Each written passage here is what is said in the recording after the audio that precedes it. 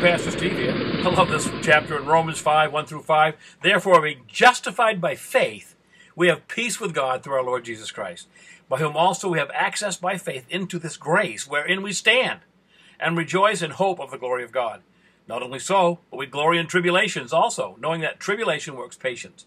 Patience experience, experience hope. Hope makes not ashamed because the love of God is shed abroad in our hearts by the Holy Ghost, which is given unto us.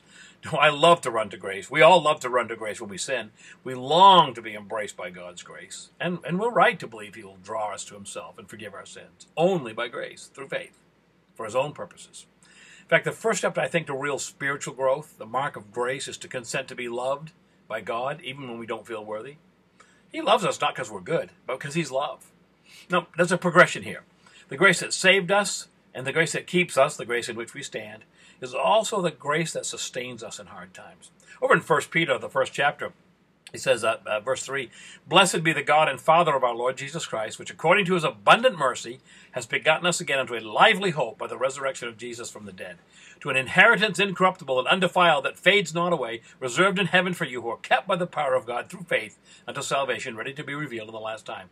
Get this, wherein ye greatly rejoice, though now for a season, if need be, you are in heaviness through many trials, manifold temptations, that the trial of your faith, being much more precious than of gold that perishes, though it be tried with fire, might be found unto praise and honor and glory at the appearance of Jesus Christ. And uh, Paul, recall in, in 2 Corinthians 12, 9, he said three times he begged God to remove this ailment that he had, whatever it was, and God replied, My grace is sufficient for thee. For my strength is made perfect in weakness. And Paul's godly response, more gladly, therefore, I will glory in my infirmities, that the power of Christ may rest upon me. I often repeat the last bit of wisdom my father gifted me with. He was only weeks away from going home to glory. He was in pain from the cancer that had invaded his head. He was in much pain.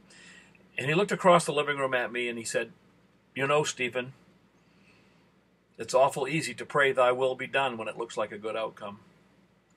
He got it. See, in the end, he had grace. God's great grace that eased his passage.